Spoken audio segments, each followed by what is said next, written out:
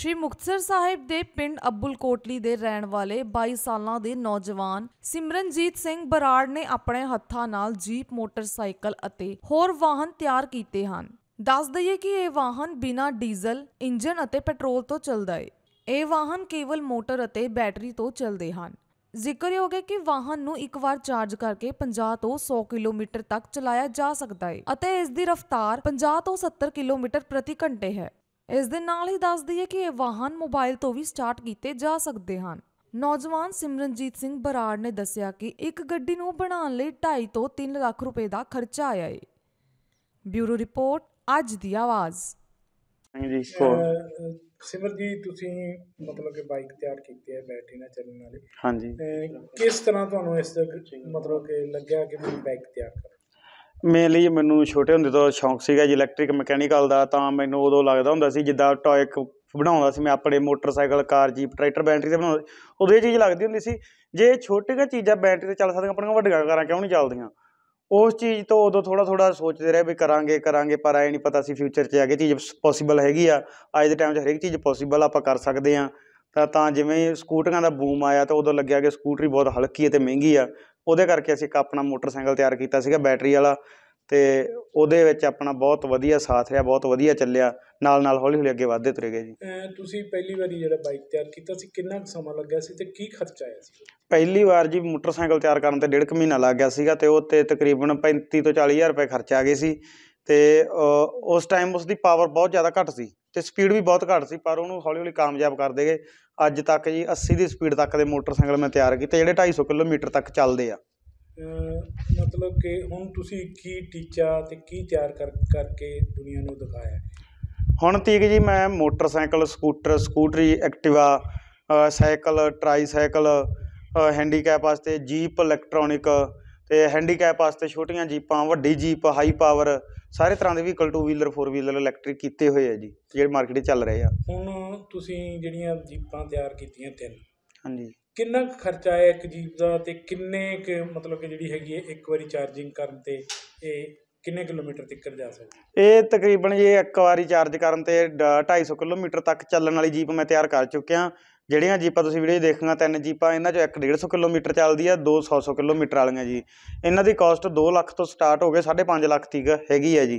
ਜਿਹੜੀ ਛੋਟੀ ਜੀਪ ਆ ਮੋਟਰਸਾਈਕਲ ਦੇ ਟਾਇਰਾਂ 'ਚੋਂ 2 ਲੱਖ ਤੋਂ ਸਟਾਰਟਿੰਗ ਹੋ ਜਾਂਦੀ ਆ 2.5 ਲੱਖ 3 ਲੱਖ ਤੱਕ ਜਾਂਦੀ ਆ ਤੇ ਜਿਹੜੀ ਦੂਜੀ ਆ ਜਾਂਦੀ ਆ ਛੋਟੀ ਵਿੱਲੀ ਜੀਪ ਉਹ ਆਪਣੀ 3 ਲੱਖ ਤੋਂ ਸ਼ੁਰੂ ਹੋ ਕੇ 3.5 4.5 ਤੀਕ ਜਿਹੜੀ ਰੀਜਨਲ ਜੀਪ ਸ਼ਾਇਦ ਜਾ ਵੜਦੀ ਆ 3 ਤੋਂ ਸਟਾਰਟ ਹੋ ਕੇ 5 10 15 ਜੋ ਆਪਾਂ ਲਾਵਾਂਗੇ ਉਸ ਤੀਕ ਜਾ ਵੜਦੇ ਆ। ਜਿਹੜਾ ਤੁਸੀਂ ਇਹਨਾਂ?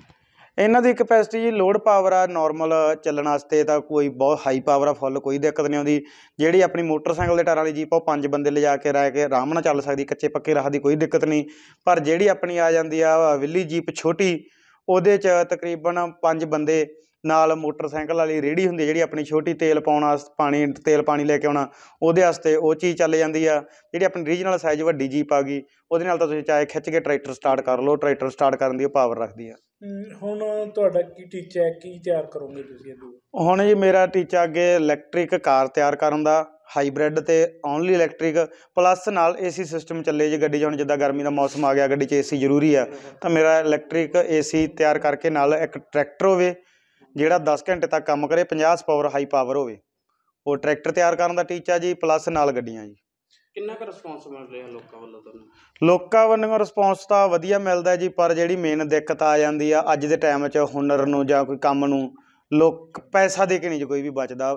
ਜਦੋਂ ਹਰੇਕ ਬੰਦਾ ਚਾਹੁੰਦਾ ਕਿ ਸਸਤਾ ਤੇ ਇਹਨੂੰ ਜਮਾ ਖਤਮ ਕਰੋ, ਬਈ ਸਸਤ, ਕੰਪਨੀਆਂ ਵਾਸਤੇ ਲੋਕ 20 20 ਲੱਖ ਰੁਪਇਆ ਦੇਣ ਨੂੰ ਵੀ ਤਿਆਰ ਆ, ਪਰ ਜਿਹੜੀ ਜੀ ਲੋਕਲ 'ਚ ਤਿਆਰ ਹੋਈ ਆ, ਉਹਨੂੰ ਹਰੇਕ ਬੰਦਾ ਲੈਸ ਤੋਂ ਲੈਸ ਭਾਲਦਾ ਜੀ, ਜਦ ਕਿ ਉਹਨਾਂ ਦੇ ਫੀਚਰ ਪਾਵਰ ਸੇਮ ਸਾਰੀ ਰੀਜਨਲ ਗੱਡੀ ਕੰਪਨੀ ਦੀ ਗੱਡੀ ਦੇ ਬਰਾਬਰ ਆ ਜਦ ਕਿ ਕੰਪਨੀਆਂ 'ਚ ਵੀ ਬੰਦੇ ਹੀ ਤਿਆਰ ਕਰਦੇ ਆ ਤੇ ਬਸ ਹੱਥੀਂ ਤਿਆਰ ਕੀਤੇ ਤੁਹਾਡੀ ਸਟੱਡੀ ਕਿੰਨੀ ਕੁ ਹੈ ਤੁਸੀਂ ਕਿਸ ਤਰ੍ਹਾਂ ਇਸ ਕਿੰਨਾ ਪੜ੍ਹੇ ਹੋ?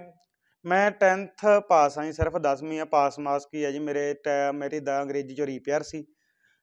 ਤੇ ਕੋਈ ਜ਼ਿਆਦਾ ਪੜ੍ਹਾਈ ਦਾ ਅੱਗੇ ਸੋਚਿਆ ਵੀ ਨਹੀਂ ਸੀ ਕਿ ਪੜ੍ਹਨਾ ਮੇਰਾ ਮਕੈਨੀਕਲ ਕਰਨੀ ਧਿਆਨ ਕਰਕੇ ਚੀਜ਼ਾਂ ਸਿੱਖ ਲਈਆਂ ਸੀ। ਤੁਹਾਨੂੰ ਪਰਿਵਾਰ ਵੱਲੋਂ ਕਿੰਨਾ ਕੁ ਸਹਿਯੋਗ ਮਿਲਦਾ ਹੈ? ਜਾਂ ਸਾਥੀਆਂ ਵੱਲੋਂ ਕਿੰਨਾ ਕੁ ਸਹਿਯੋਗ ਮਿਲਦਾ ਹੈ ਜਿਹੜੇ ਤੁਹਾਡੇ ਨਾਲ ਜੁੜ ਕੇ ਖੜਦੇ ਸਾਥੀਆਂ ਵੱਲੋਂ ਬਾਹਰ ਜਾਣ ਆਉਣ ਚ ਸਪੋਰਟ ਮਿਲਦੀ ਆ ਪਰਿਵਾਰ ਕੰਨੋਂ ਮੇਰੇ ਘਰ ਚ ਹੈਲਪ ਕਰਦੇ ਮੇਰੇ ਚਾਚਾ ਤੇ ਨਾਲ ਮੇਰੇ ਡੈਡੀ ਕੰਮ ਕਰਦੇ ਆ ਤੇ ਜਿਹੜੀ ਪਹਿਲੀ ਇਨਵੈਸਟਮੈਂਟ ਸੀ ਉਹ ਵੀ ਮੇਰੇ ਚਾਚੇ ਨੇ ਹੀ ਇਨਵੈਸਟ ਕੀਤਾ ਸੀਗਾ ਉਸ ਟਾਈਮ ਵੀ ਮੇਰੇ ਕੋਲੇ ਪੈਸੇ ਦੇ ਕੋਈ ਹੈ ਨਹੀਂ ਸੀਗਾ ਜੀ। ਹੁਣ ਅੱਗੇ ਕੀ ਸੋਚਿਆ ਵੀ ਅੱਗੇ ਕੀ ਕੁਝ ਬਣਾਉਣਾ ਜਾਂ ਕੀ ਕੁਝ ਤਿਆਰੀ ਕੀਤੀ ਹੋਈ ਹੈ ਵੀ ਮੈਂ ਆਹ ਚੀਜ਼ ਬਣਾਉਣੀ ਹੈ ਅੱਗੇ ਜੀ ਸੋਚਿਆ ਆਪਣਾ 50 ਪਾਵਰ ਟਰੈਕਟਰ 50 60 ਹਾਈ ਪਾਵਰ ਚ ਜਿਹੜਾ 10 ਘੰਟੇ ਤੱਕ ਲਗਾਤਾਰ ਚੱਲੇ ਪਲੱਸ ਏਸੀ ਗੱਡੀ ਜਿਹਦੇ ਚ ਏਸੀ ਹੀਟਰ ਸਾਰਾ ਕੁਝ ਚੱਲੇ ਹੁਣ ਨਾਰਮਲੀ ਏਸੀ ਨਹੀਂ ਚੱਲਦਾ। ਹਾਈ ਪਾਵਰ ਹੋਵੇ ਮੋਬਾਈਲ ਕੰਟਰੋਲ ਸਿਸਟਮ ਤੇ ਥੋੜਾ ਜਿਹਾ ਹੋਰ ਫੋਕਸ ਜ਼ਿਆਦਾ ਕਰਨਾ ਜਦ ਕਿ ਅੱਜ ਵੀ ਮੋਬਾਈਲ ਕੰਟਰੋਲ ਚੱਲਦੀ ਹੈ ਗੱਡੀ ਪਰ ਇਹ ਬੰਦ ਤੇ ਸਟਾਰਟ ਹੀ ਹੁੰਦੀ ਆ। ਹੁਣ ਇਰਾਦਾ ਕਿ ਇਹਨੂੰ ਕੰਟਰੋਲ ਹੋਵੇ 10 ਤੋਂ 15 ਕਿਲੋਮੀਟਰ ਦੇ ਵਿੱਚ ਘੇਰੇ 'ਚ ਰਹਿਣੀ ਆ ਗੱਡੀ ਤਾਂ ਮੋਬਾਈਲ ਤੋਂ ਅੱਗੇ ਪਿੱਛੇ ਹੋ ਜਿਹੜੀ ਹੁਣ ਤੁਸੀਂ ਤਿਆਰ ਕੀਤੀਆਂ ਜੀਪਾਂ ਅ, ਦੋ ਤੋਂ ਲੈ ਕੇ 5 5.5 ਲੱਖ ਦੀ ਤੁਸੀਂ ਗੱਲ ਕਰ ਰਹੇ ਹੋ। ਹਾਂਜੀ। ਕਿੰਨੇ ਸਮਾਂ ਇਹ ਚੱਲਦੀਆਂ ਤੇ ਕਿੰਨੇ ਕਿਲੋਮੀਟਰ ਇਹ ਚੱਲਦੀ ਹੈ? ਤਕਰੀਬਨ ਜੀ ਮੈਂ 250 ਕਿਲੋਮੀਟਰ ਤੱਕ ਦੀ ਜੀਪ ਤਿਆਰ ਕੀਤੀ ਹੋਈ ਆ ਤੇ ਜਿਹੜੀ ਇਹ ਕੀ ਜੀਪਾਂ ਚੱਲਦੀਆਂ ਛੋਟੀਆਂ 100 ਕਿਲੋਮੀਟਰ ਤੇ ਵੱਡੀ ਜੀਪ ਆ 150 ਤੇ ਜਿਹੜੀ ਇੱਕ ਤਿਆਰ ਕਰਕੇ ਮੈਂ ਸੇਲ ਕਰ ਚੁੱਕਿਆ ਉਹ 250 ਇਹਦੇ ਕਿਲੋਮੀਟਰ ਚੱਲਦੀ ਹੈ ਤਿਆਰ ਕਰਦੇ ਹੋ ਇਹਦੇ ਜਿਹੜੇ ਮੋਡੀਫਾਈ ਆ ਵੀ 100% ਕਰਦੇ ਹੋ ਜਾਂ ਕਿ ਮੰਨ ਲਓ ਪਹਿਲਾਂ ਵੀ ਤਿਆਰ ਹੋਈ ਹੁੰਦੀ ਨਹੀਂ ਇਹ 100% ਆਪ ਹੀ ਤਿਆਰ ਕਰਦੇ ਆ ਚੈਸੀ ਬਾਡੀ ਸਾਰੀ ਆਪ ਤਿਆਰ ਕਰਦੇ ਆ।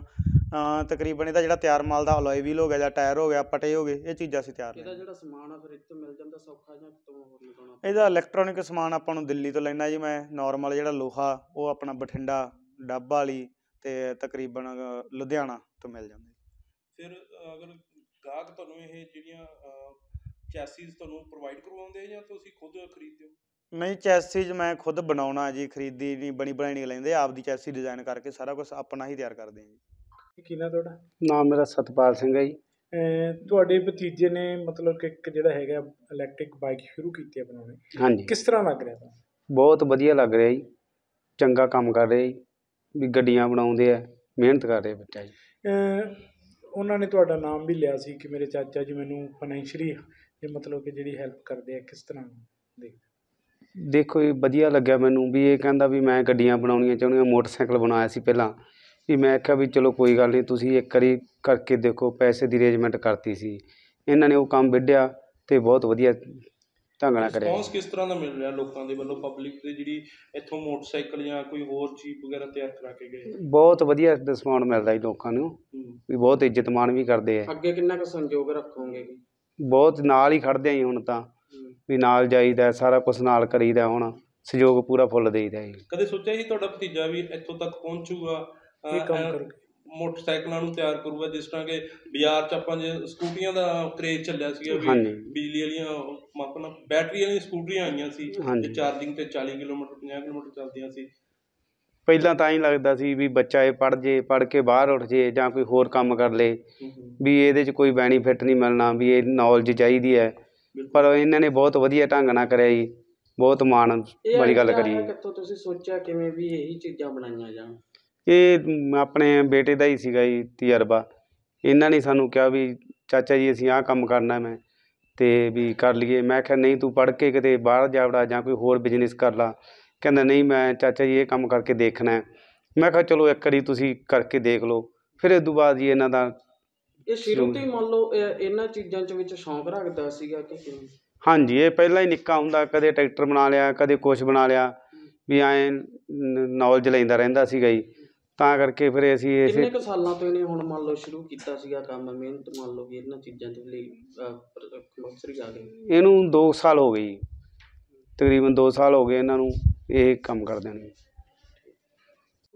ਬਾਈ ਜੀ ਕੀ ਨਾ ਤੁਹਾਡਾ? ਗਰਮੀਤ ਸਿੰਘ ਹੈ ਜੀ ਨਾਮ ਅਹ ਤੁਹਾਡੇ ਬੇਟੇ ਨੇ ਜਿਹੜਾ ਇਲੈਕਟ੍ਰਿਕ ਦਾ ਬਾਈਕ ਬਣਾਉਣਾ ਸ਼ੁਰੂ ਕੀਤਾ ਕਿਸ ਤਰ੍ਹਾਂ ਦੇਖਦੇ ਹੋ?